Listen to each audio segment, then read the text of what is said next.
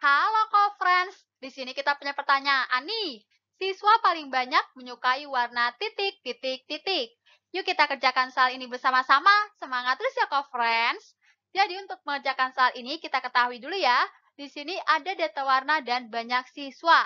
Ada 10 siswa yang menyukai warna merah, ada 17 siswa yang menyukai warna biru, ada 3 siswa yang menyukai warna orange, ada 12 siswa yang menyukai warna hijau, ada 2 siswa yang menyukai warna kuning, ada 10 siswa yang menyukai warna ungu.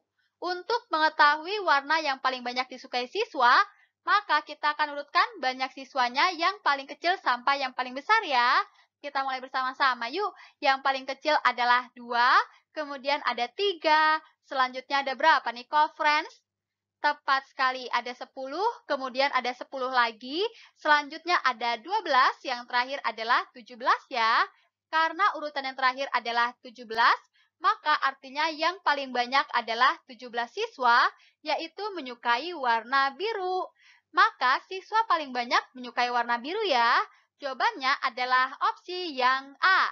Wow, mudah sekali kan co-friends menemukannya?